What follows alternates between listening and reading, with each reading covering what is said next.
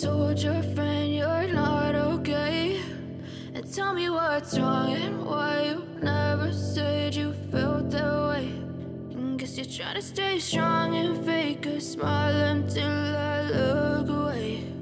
But I've known you too long, it hurts to watch your blue eyes fade to gray as you fade away.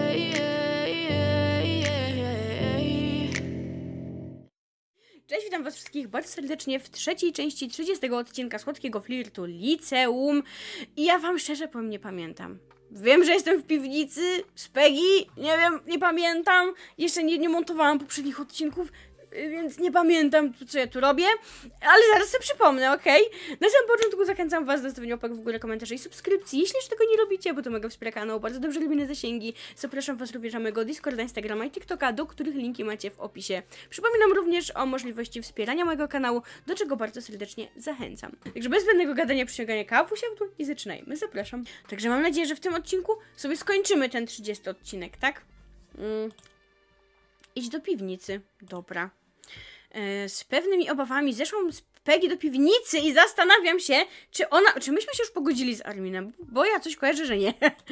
Ym, nie należy patrzeć na to w ten sposób. To modelka zainspirowała artystkę. Chyba chodzi o zdjęcia Melanii, tak podejrzewam. Łatwo pani mówić. Pani córka wyszła na artystkę, a moja na ofiarę. Jaką ofiarę? Co ty pieprzysz? Przecież ona też jest mm, artystką w pewnym... Co? Ona jest na tych zdjęciach, ona jest modelką. Ofiary? Proszę nie przesadzać. Tak się właśnie czuję. Aha, chyba, że tak. Okej, raczej nie będzie zabawnie. Pomyśl o tym jedynie jak o projekcie artystycznym. Chyba sobie żartujesz. Postaw się, chwil, się na chwilę na moim miejscu. Dziewczynki, uspokójcie się, chyba powinniśmy rozstrzygnąć tę sytuację. Rozumiem, że Melania może czuć się zraniona. Mogłeś ją uprzedzić, że macie zamiar ją sfotografować. No właśnie, gdybyśmy ją uprzedziły, to zdjęcia nigdy nie wyszłyby tak naturalnie. Dobrze, pan wie, że mam rację. Mm, Uważam, że Peggy jest do, dosyć odważna. Zawsze umie postawić, się postawić, Jezu. Tak, zdaję sobie z tego sprawę. W takim razie, e, dlaczego nie poprosiłyście jej o zgodę, gdy wywoływałyście odbitki? Było późno, wszyscy już wrócili do domu. Dokonałam wyboru, który wydawał się najsłuszniejszy. Rozumiem. Patrzył, patrzy na Peggy wzrokiem, który nic nie wyraża. Ciekawe, co tak naprawdę o tym wszystkim myśli. Melanio, mogę z tobą porozmawiać? Zostajemy razem z nią. Oczywiście. Oddalili się od grupy. Wykorzystałam okazję, aby pooglądać zdjęcia. Na każdym zdjęciu Melania wygląda albo na szaleńczo zakochaną, albo na strasznie zazdrosną. Hmm. Rozumiem, że jej się to nie podoba. Peggy pewnie jeszcze wszystkim nie wytłumaczyła, kto wzbudził w Melanii tyle emocji. No jasne, że mój Nataniel. Jezus Maria. Przepraszam, jestem po odcinku z podróży poślubnej i po prostu serce mnie boli, że musiałam się z nim pożegnać. Nigdy się z nim nie pożegnam.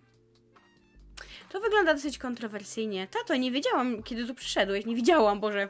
Nie spodziewałem się, że wywiąże się taka dyskusja wokół szkolnej wystawy, ale często to dzieła, które mają siłę przekazu, wywołują taki skandal. Oczywiście z panem zgadzam. Najwidoczniej Pierik skończył rozmawiać z Melanią i jej rodzicami. Wytłumaczyłem Melanii i jej rodzicom, jak patrzę na całą sprawę. Okazali się być bardziej wyrozumiali. Naprawdę, co im pan powiedział? Po prostu wytłumaczyłem, jak ważna dla mnie jest wykonana przez was praca. Serio, jak on to robi? Melania i jej rodzice zupełnie się uspokoili. uspokoili. Peggy i jej rodzice wyglądają na zadowolonych. Nie wierzę, że udało jej się z tego wybrnąć. Jak się chce. Dobrze, zaraz rozpocznie się projekcja filmu. Czas pokazać pracę uczniów z zajęć wideo. O matko, to my! To my! Serce zaczęło mi bić mocniej! Do tej pory jedynie oglądałam sobie spokojnie pracę innych, a teraz przyszła moja kolej. Aż się boję. Zaczęłam się rozglądać, czy Amber była w pobliżu. E, ale ani śladu po niej, Natanielu i ich mamie. Możemy mieć... Możemy mieć ten sam problem, co z Peggy, co Peggy z Melanią. Nie jestem pewna, czy uda nam się tak łatwo z tego wywinąć. W końcu zobaczę twoją pracę. Tak, to będzie naprawdę coś. Zauważyłam Prię w głębi piwnicy. Chyba też przyszła sama, tak samo jak Lisander. Będziemy potrzebowali krzeseł, aby wszyscy mogli wygodnie usiąść. Borys chyba przed chwilą zaniósł je do sali gimnastycznej. Jeżeli Państwu to nie przeszkadza, to poproszę uczniów, aby pomogli mi je tutaj przynieść. My też możemy pomóc, nie jesteśmy jeszcze tacy starzy. Każdy ochotnik będzie mile widziany. Odwróciłam się, aby sprawdzić, co robił mój tata. Znowu dyskutuję z mamą Iris, która chyba ma mu wiele rzeczy do powiedzenia. Tu ją podrywa. Tato, idę pomóc przy krzesłach. Dobrze, córeczko, zaraz do ciebie dołączę, okej. Aha, czyli mam iść po krzesełka. Mhm. Mila, co? Stresujesz... Boże. Stresujesz się filmikiem? Tak, trochę, szczególnie po tym, co się przed chwilą wydarzyło w piwnicy. Peggy nieźle się wybroniła. Musimy te, teraz zrobić to samo. Nie wiem, wideo jest chyba jeszcze gorsze i naprawdę ukazuje Amber z jej najgorszej strony. To zależy, niektóre zdjęcia mogą być gorsze niż wideo, zgadzam się. Ale i tak możemy, yy, możemy przez tnie, przez nie, przez nie wkrótce cierpieć katusze. Chętnie to zobaczę, jestem gotowa bronić naszej pracy. Nieźle się zapowiada, ale teraz nie możemy się już niczego wyprzeć.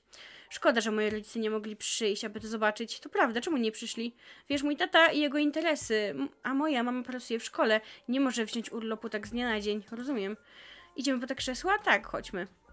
Okej. Wiele osób przyszło w stronę sali gimnastycznej. Nataniel też tu przyszedł. Dzień dobry, Boże. Nie! Przepraszam, przepraszam, przepraszam. W tym odcinku z podróży poślubnej był taki kochany i w ogóle taki piękny był. Nieważne, Boże, nie, przepraszam. Ja przepraszam, naprawdę. Ale już to tłumaczyłam tam, że co, jak wy mi się, się a, nie umiem się wygadać, jak wy mi się możecie dziwić, że po prostu szaleję, jak go widzę tutaj, no. Wiele osób poszło w stronę sali gimnastycznej. O, Armin! Dzień dobry. I Kentin. I gdzieś w środku tego tłumu zobaczyłam Dejka i Leti. Ja myślałam, że powiesz Armina! Bo się z nim nie pogodziłaś tak, na, tak naprawdę. Leti nieźle sobie beze mnie radzi, są pochłonięci rozmową. Podeszłam bliżej, aby zabrać krzesła. W tym samym czasie Dake się odwrócił i mnie zauważył. Jesteś? Tak, miałam coś do zrobienia. Mogę z tobą przez chwilę porozmawiać na osobności? Nie byłeś zajęty rozmową z Leti? Nie przejmujcie się mną. Podeszła, aby szepnąć mi coś na ucho. Już to zrozumiałam, to ty go interesujesz od samego początku, tym lepiej. Dzięki temu łatwiej mi będzie wytrwać w moim postanowieniu. Mila, chodź, pójdziemy do szatni. E? Mm, Okej. Nie? Why? Co się dzieje? Nic takiego, nie martw się. Jesteś oblechem, błagam cię. Pomimo, że jesteś ładny, jesteś oblechem po swoim zachowaniu. Uważam, że coś się w tobie zmieniło. Nie kłamałem, gdy mówiłem, że podobasz mi się jeszcze bardziej niż wcześniej. To chyba przez ten strój. Take. Wiesz, że od razu wywarłaś na mnie duże wrażenie, gdy spotkaliśmy się na plaży. Hmm, tak? Wiem, że, cię, że nie interesują cię moje zaloty. W ogóle nie interesują. Tak myślałem, a więc y, pewnie nie chciałabyś, żebym ukradł ci całusa? Typie, ty jesteś ograniczony umysłowo. Mówisz, że wiesz, że jej nie interesują twoje zaloty, ale ty chcesz, ty chcesz ją całować. No większego desperata nie widziałam, naprawdę. Słucham? Podczas gdy Dake zaczął się do mnie zbliżać, ktoś, ktoś trzasnął drzwiami od szatni. Trzeba z tobą rozmawiać po angielsku, żebyś się zrozumiał, co się do ciebie mówi. Zazdrosny, zazdrosny. A w ogóle oglądałam sobie Alternate Life z Arminem. I było mówione, że on w ogóle nie był zazdrosny o Suśkę, nie? Że on był trochę niedojrzały, bla bla bla bla bla. A on tutaj jest zazdrosny, więc o co? Jak, on, jak to się stało? On, potem o, on przestał być zazdrosny pomimo odległości między nimi i w ogóle? No nie wiem, nie wiem. Mm. Trzeba mówić po angielsku, ja pierdykam. Jaki masz problem? E, duży. Przestań nachodzić mile, tylko tyle od ciebie chcę. Spokojnie, z tego co wiem, nie jest twoją własnością. Chyba, że spojrzał na mnie i nagle zupełnie zmienił mu się wyraz twarzy. A, teraz lepiej rozumiem. Tak jakby fakt posiadania chłopaka był jedynym powodem, dla którego jakaś dziewczyna mogłaby mu odmówić. Nie wiedziałem. Co ty nie powiesz? Nie ma, co się, nie ma się co dziwić. Wyglądasz jakbyś miał mużdżek troja.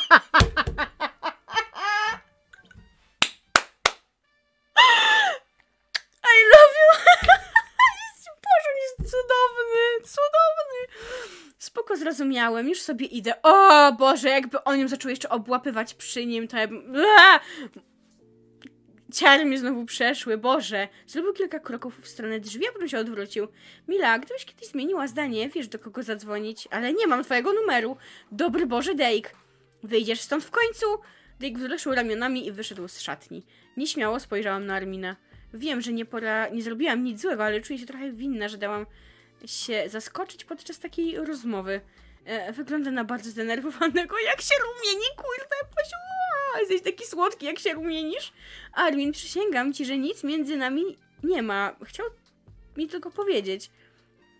Dobrze, wiem, co chciał ci powiedzieć. O nie, zaczyna coś sobie wyobrażać. Przecież ona by go nie pocałowała. Pozwól mi wytłumaczyć. Zanim zdążyłam się zastanowić, jak skończy swoje zdanie, zdecydowanym ruchem przyciągnął mnie do siebie i pocałował! O Boże, zrobił to z taką pasją, że można by odnieść wrażenie, że od dawna czekał na ten moment. Chyba już się odbraził. Poczułam, jak tracę równowagę. W życiu bym się tego nie spodziewała. Nie jesteś już obrażony? Tylko na niego. Przyznaję, że blondynek trochę za bardzo zaczął grać mi na nerwach. w związku z tym, co ci wczoraj powiedziałam? No, wiadomo, że na początku źle to odebrałem, ale jak się trochę nad tym zastanowiłem, to zrozumiałem, dlaczego tak się stresowałaś. Biorąc pod uwagę twój charakter. Co? Ale chyba postanowiłeś trochę wyluzować, prawda? Wiem, że przesadziłam. Przytuliłam się do niego, byłam szczęśliwa, że mi przebaczył. Powinniśmy już zanieść te krzesła na... E, nie chcę przegapić projekcji. Ach tak, projekcja, pospieszmy się. O Boże, jak to było kochane! O! Razem z Arminem wzięliśmy po kilka składanych krzeseł. Czas zejść do piwnicy. Mhm. Lecim na Szczecin. Dobry Boże! Nina pobiegła w stronę schodów z prędkością światła. Jumpscare na korytarzu! Je! Nie, no, kocham, po prostu kocham liceum z Arminem. Boże, no naprawdę, jest chyba najlepszym WS-em, chociaż nie, nie grałam we wszystkich, ale no naprawdę on z charakteru mi się chyba najbardziej podoba. No, no super jest.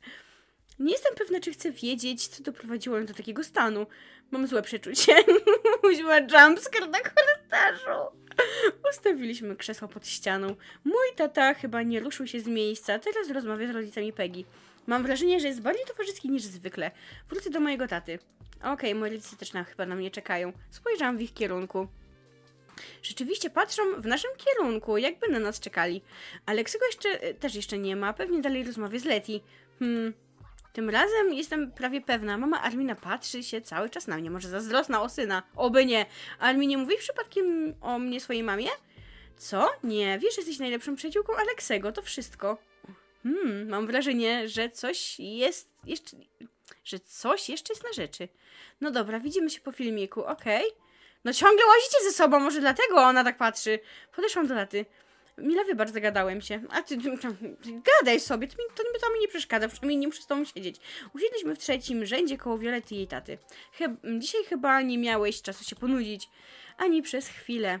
Cieszę się, że mogłam porozmawiać z niektórymi rodzicami i nauczycielami. To interesujące porównać e, różne punkty widzenia. Na jaki temat? Rozmawialiśmy o różnych rzeczach, o wystawie edukacji dzieci, naszych zawodach. Proszę o uwagę, za chwilę rozpoczniemy projekcję. Wyłączył światła w piwnicy. Czuję, jak znowu zaczynam się stresować. Y, Zobaczyłam, jak Alex i Letty przyszli w ostatniej chwili i od razu usiedli na pierwszych wolnych miejscach. Nadeszła chwila prawdy. Nadeszła chwila prawdy. Podskoczyłam na krześle. Nie zauważyłam, że Priya usiadła tuż obok mnie. I na dodatek czyta w moich myślach. Ta dziewczyna nigdy nie przestanie mnie zaskakiwać. Kocham Priyę w liceum. Em, no na uniwerku też jest taka ta całkiem fajna. No ale w liceum wymiata. A nie, trochę się nie stresujesz? Nie, dopóki będziemy wierzyć w słuszność naszej pracy, nie ma powodu się stresować, tak mi się wydaje. Proszę o ciszę. Pani Delanej włączyła projektor i wszyscy momentalnie, momentalnie ucichli. Zaczęłam gryźć paznokcie, gdy na ekranie pojawiła się Amber w swojej najgorszej odsłonie. Muszę przyznać, że Priya i Armin nieźle sobie poradzili przy montażu. Usłyszałam krzyki zdziwienia kilku uczniów, gdy odkryli, że też występują na filmiku. W szczególności Kentina. Matko Bosko, uważam, że nasz film jest całkiem niezły, nawet jeżeli wywołał skandal. Nie mam odwagi spojrzeć w kierunku Amber, obawiam się najgorszego. Na koniec projekcji nikt nie wiedział, jak zareagować. Klap, klap. E, ktoś zaczął powoli klaskać, a potem coraz szybciej. Amber, co jej odbiło? E, kilka osób niepewnie przyłączyło się do oklasków. Rozumiem ich. Musi być dziwnie oglądać coś tak niespodziewanego. Nerwowo czekałam, e, kiedy rozpęta się burza, a jednak jestem z ciebie taka dumna, doskonałe wcielenie pychy, masz prawdziwy talent aktorski. Przecież wiele, o wiele trudniej jest odegrać stan emocjonalny, niż wcielić się w jakąś postać. Śnia na jawie, chyba nie wierzę, że E, wszystko zostało zaimprowizowane od początku do końca. Co ty nie powiesz? Ta dziewczyna to prawdziwy fenomen. Nie jesteś na nią zła? Znowu opowiada kłamstwa. Powiedziałabym, że raczej manipuluje prawdą, aby nie stracić twarzy. Tak, to ciekawe, jak sprawnie udaje jej się odwrócić różne rzeczy na swoją korzyść. Nie mam nic przeciwko, jeśli ktoś inny na tym nie ucierpi. Gdybym nie wiedziała, co się między wami wcześniej wydarzyło, to bym pomyślała, że ją doceniasz. Nie nienawidzę jej, ale nie mogę też powiedzieć, że ją doceniam. To był dosyć zaskakujący filmik. Tato, to Plia, byłyśmy w tej samej grupie. Miło mi poznać. Mi również. E, a więc, co myśli pan o naszej pracy? Mówiąc szczerze, czułem się nieswojo, gdy, gdy go oglądałem, ale trzeba przyznać, że doskonale obrazuje temat, który wybraliście. Oczywiście nie ma problemu. Mogę pójść razem z tobą, jeśli chcesz. Razem będzie zabawnie, okej. Okay. Letty nie obraziła się pomimo mojej reakcji. To naprawdę bezproblemowa dziewczyna o dobrym sercu. E, to dlatego wszyscy tak dobrze się z nim dogadują. Tato, widzimy się później. Dobrze, kochanie, okej, okay, dobra, dziękuję za pomoc. Dobra, i tak nie miałabym innego wyboru. A więc widzę, że nieźle dogad dogadała się z Aleksym. Tak, to wspaniały chłopak. Szkoda, że nie interesuje się dziewczynami. Teraz lepiej rozumiem waszą przyjaźń. To pewne, że wszystko jest prostsze, jeżeli wiesz, że nie ma opcji, abyście zostali. Rozmawialiście o Kentinie? Tak, między innymi. Tak dobrze mi się z nim rozmawiało, że zwierzyłam mu się nawet z kilku problemów z chłopakami. Ach tak, nie znam prawie nikogo, kto tak szybko nawiązałby znajomości. Był bardzo miły. Powiedział mi, że szukam swojej drogi i że w końcu sytuacja się ustabilizuje. To mnie jeszcze bardziej zmotywowało, aby wytrwać w moim postanowieniu. Muszę dobrze przemyśleć, czego naprawdę chcę. No, spędziłaś tutaj kilka godzin już przeszłaś kompletną przemianę. Coś na pewno się we mnie zmieniło. A ty? Ja? Na początku trochę się wahałam, ale w tobie też się coś zmieniło. Eee, to przez tego przystojnego gika, prawda? Nie, do czego zmierzasz? Próbowałam nie dać się niczego po sobie poznać, ale moja wcześniejsza reakcja raczej mi nie pomogła. Przecież mi możesz powiedzieć, to widać, że coś między wami iskrzy. Na pewno lubisz go bardziej od Dejka. ja jej powiem prawdę, żeby już się odczepiła od tego Armina. No dobra, wygrałaś, tak, coś jest między nami. Wiedziałam, to świetnie. Uśmiechnęłam się do niej. W takich chwilach przypomina mi Rozę. Cieszę się, że cieszę się, bo trochę mi jej dzisiaj brakuje. Gdybyś mogła zachować dyskrecję, na razie nikt o niczym nie wie i wolałabym, żeby tak zostało. A, jestem pierwsza. Powiedziałam tylko Aleksemu i Rozali, to moi najlepsi przyjaciele. Rozali, nie poznałam jej. Tak, szkoda, nie ma jej w szkole. Chodźmy, już lepiej poszukać pielika. Mhm. Plia, widzisz może Pielika? Nie, i to od dosyć dawna. Z zaciekawieniem przygląda się Leti. Leti to Plia, koleżanka z klasy. Plio, chodziłam z Leti do mojej starej szkoły. Cześć. Miło cię poznać, masz bardzo ładne włosy. Plia i włosy. Dobrze, że, że nie ma przy sobie nożyczek. Dziękuję, to prawda, że ciężko ich nie zauważyć. E, od jak dawna się znacie? E, wybacz, Plio, ale musimy jak najszybciej znaleźć Pielika. Ach tak, nie szkodzi. Leti, może będziemy miały o, jeszcze okazję się spotkać. Tak, na razie. Mhm, aha. I w ogóle rozumiem, że po wyjeździe Sukry ona też zerwała kontakt z mm, Leti, tak? O Boże, znowu jumpscare. A! Nina znowu przebiegła z prędkością światła. Co to było, puszka Pandory? Wiesz mi, wolisz się ty od tego trzymać z daleka. Wyglądała dziwnie, strasznie. Boże, strasznie dziwnie. Okej. Okay. Ja wierdykam. Amber i Klementyna znowu o czymś plotkują. To twoje koleżanki? Ha, niekoniecznie. Ach, niech zgadnę. To żmiet z twojej szkoły. W każdej szkole jest ich co najmniej dwie albo trzy. Tak, to część z nich. Mogłaby, mogłabym pójść z, z nimi pogadać. Byłoby, zby, tam, byłoby zabawnie. To nie jest dobry pomysł. Poza tym mamy coś ważniejszego do zrobienia. Mhm. Okej. Okay. Dużo jeszcze ich muszę spotkać, bo tak jakby, no... Gdzie się podział Pierik? A co robisz w szatni? Spokojnie, nie rozumiem, dlaczego za każdym razem tak się stresujesz. Wiesz, to nie jest byle kto. Czułbym się winny, gdyby sprawy potoczyły się, się nie tak, jak sobie tego życzy. Uważam, że przesadzasz. co, za, co to za śmieszny pan, który rozmawia z naszym przystojnym surferem? To pan Borys, nauczyciel WF-u. E, I e, dlaczego trzyma w ręku róże? Chciałabym to wiedzieć, uwierz mi. E, to właściwie to nikt tego nie wie. Dla żartu mówimy, że zbiera je w nocy podczas pełni księżyca. Jesteś pewna, że ma równo pod sufitem? Gdybyś wiedziała, widziała swoją minę, Leti tylko żartowałam. Przestań, żeby ciarki przeszły. Dobre to było, nie? Naprawdę. Halo, halo, w mordę walą. Dajcie mi tu tego pielika, gdzie on jest. Nie wiem, gdzie się... Nie wiem, gdzie się podział twój nau- nauczyciel, ale ja już nie wytrzymam. Muszę szybko znaleźć łazienkę. Haha, dzięki za szczegóły. Wytłumaczyłam jej, gdzie iść, gdzie ma iść i postanowiłam na nią poczekać. Nagle usłyszałam za sobą czyjeś kroki. O, to rodzice Armina i Aleksego. Czy oni będą coś ode mnie chcieli? Idą prosto w moją stronę. Witaj ponownie, Mila. Nie widziałaś może Armina? Aleks jest na dziedzińcu, ale nie możemy nigdzie znaleźć jego brata. A dlaczego do niej przyszliście po tą informację? Nie, przykro mi, nie wiem gdzie się podział. Na pewno no, schował się gdzieś, żeby pograć na swojej konsoli. Nie zdziwiłoby mnie to. Ja bym wzięła B, może? Naprawdę nie mam pojęcia. Mam nadzieję, że to nie ma żadnego wpływu na nic. Nie jestem pewna, wydaje mi się, że ostatnio rzadziej gra. Widać, że dobrze go znasz. Myślę, że zawsze będzie lubił gry wideo, ale to prawda, że ostatnio trochę przystopował. Do czego zmierza ta rozmowa? Tak jakby miał umysł zajęty czymś innym. O, e, może tak? Tylko nie zacznij się czerwienić. Jesteś naprawdę urocza.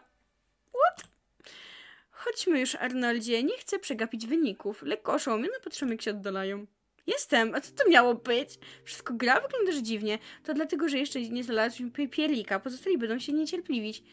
No to już, już to nadrabiamy. Dobra. Mhm. Ale ja chcę... Pokój nauczycielski jest otwarty. Spójrz, to nie Cedric? Pierik. No przecież mówię. Y, Cieszę się, że pan się zgodził. Że. Co? Cieszę się, że się pan zgodził. Słodki Amoris potrzebuje takich nowoczesnych osób jak pan. Już od jakiegoś czasu zastanawiałem się nad pracą za granicą. Pani propozycja pojawiła się w odpowiednim momencie. Zostaje pan w słodkim Amorisie? Przepraszam, nie mogłam się powstrzymać, aby nie słuchać. Przyszłam, ponieważ trzeba już ogłosić wyniki. Ach tak, wyniki. Niech pan już idzie. Dołączy do pana. Dobrze. E, dziękuję, że po mnie przyszłaś. Cieszę się, że będzie pan tutaj pracować.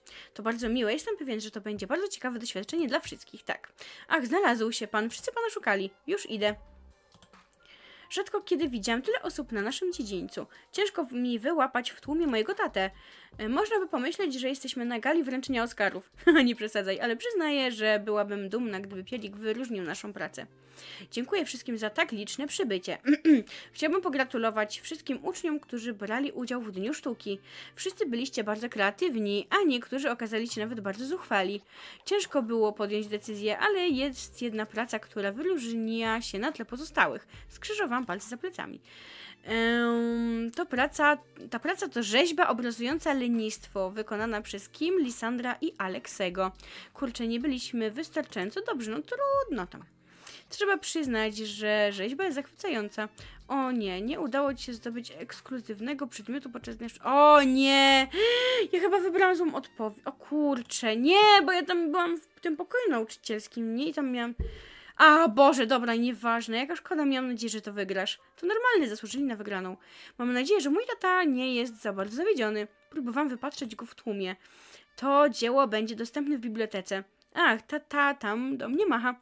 Poszłam w jego kierunku. W tym samym czasie usłyszałam, jak ktoś się koło mnie kłócił. A, dobra, to Lisandry i Nina trzymają się z boku.